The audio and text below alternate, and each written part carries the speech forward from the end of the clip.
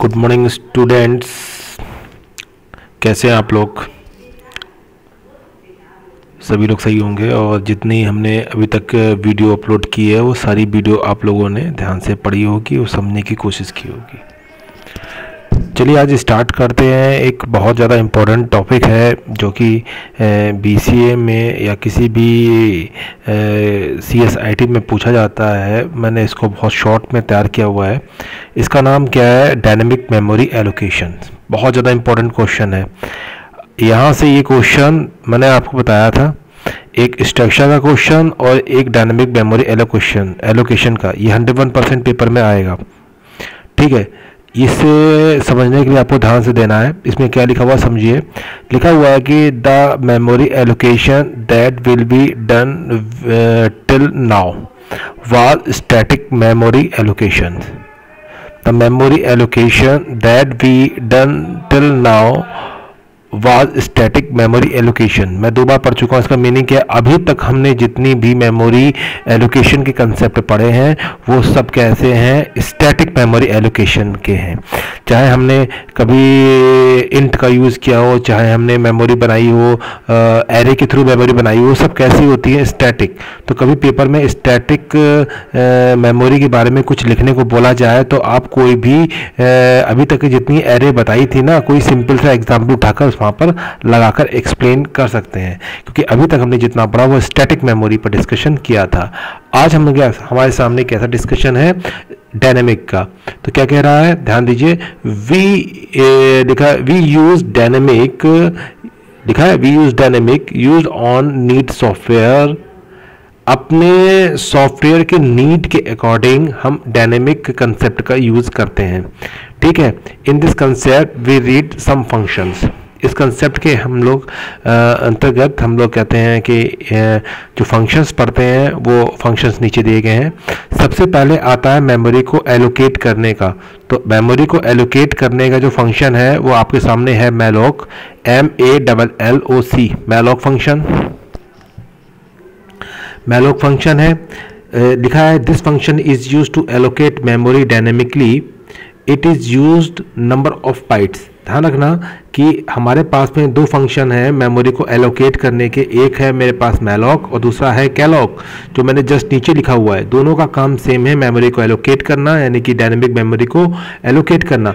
लेकिन पहला क्या, जो मैलॉक फ़ंक्शन है, वो नंबर ऑफ़ बाइट्स को एलोकेट करता है। इसका जो फॉर्मेट क्या है, आपके पास कोई भी पी नाम का पॉइंटर होगा, चाहे पी ले लीजिए, कोई भी नेम ले सकते हैं, हमने पी को मार्क किया हुआ है। उसके बाद में इक्वल साइन लगाएँगे, कोई भी डेटा टाइप हो सकता है इंट हो सकता है फ्लोट हो सकता है, उसके आगे स्पेस देंगे, उसके बाद हम लोग एक एस्ट्रिक लगाएँगे जो नोटेशन है पॉइंटर का। उसके बाद मैलॉक लिखेंगे M A double L O C malloc उसके बाद फ़ंक्शन की स्टार्टिंग करेंगे और स्पेसिफाइड साइज़ करेंगे और फ़ंक्शन को बंद करेंगे एंड ऑफ़ लाइन लगाएँगे। ये फॉर्मेट किसका है? ये पूरा फॉर्मेट है, हमारा मैलोक का काम करने का तरीका। ठीक सेम टू सेम कैलोक की बात करते हैं। This function is use to allocate memory dynamically also but it use multiple block of memory पर यहाँ ध्यान रखना, ये मल्टीपल ब्लॉक ऑफ़ मेमोरी का यूज़ करता है। ठीक है सेम लिखा हुआ है, एक पीटीआर लिखते हैं, एक डेटा टाइप लिखेंगे एस का साइन लगाएँगे कैलोक लिखेंगे और नंबर ऑफ़ ब्लॉक का यूज़ करेंगे और हर ब्लॉक का अपना एक साइज़ काउंट करवाएँगे। लिखा हुआ है साइज़ और अंदर देंगे डेटा टाइप ठीक है? उसके बाद एंड ऑफ़ लाइन से बंद कर देंगे। ये मेरे पास दो फ़ंक्शन दो फॉर्मेट है, ठीक है? थोड़ा तेज बोलने में मजबूरी है। ध्यान दीजिए, उसके बाद आता है री एलोकेट कभी कभार ऐसा होता है कि हम सॉफ्टवेयर बना रहे हैं, उस सॉफ्टवेयर बनाते समय कभी कभार हमें नीड पड़ जाती है कि अपने जो मेमोरी है उसको मतलब मैंने मैंने मान लीजिए आपने कोई एरे लिया, उसका साइज़ आपने फाइव ले रखा है और वो काम करते समय सॉफ्टवेयर डेवलप करते समय आपको अचानक ध्यान आया कि इसके साइज़ को फाइव ना लेके उसके साइज़ को हमें टेन लेना था। तो अपनी प्रोग्राम में या तो एक कंसेप्ट ऊपर चले जाएँ, उसका साइज़ को री एलोकेट कर, अगर बार बार ऐसी नीड आती है तो हम क्या करते हैं?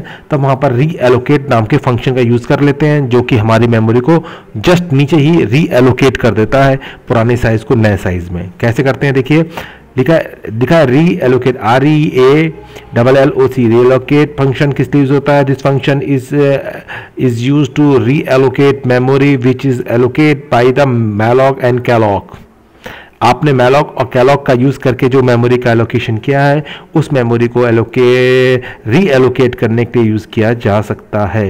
देखा it own software need to developing time अपने सॉफ्टवेयर को डेवलपिंग टाइम में इसका हम यूज़ करते हैं। कैसे करेंगे?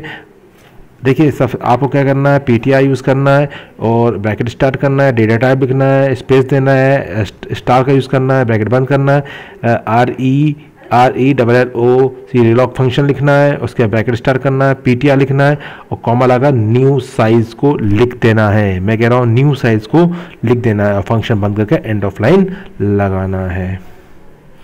एक और फ़ंक्शन है, उसका नाम है free F R double E free जब हम लोग अपने प्रोग्राम को बना लेंगे, अपने सॉफ्टवेयर को डेवलप कर लेंगे, कोई इवेंट डेवलप कर लेंगे तो अपनी मेमोरी को फ्री करना पड़ेगा। अगर फ्री नहीं करेंगे तो मेमोरी उतनी यूज़ होती रहेगी और एक समय आता है कि आपकी मेमोरी अधिक दिखाता है।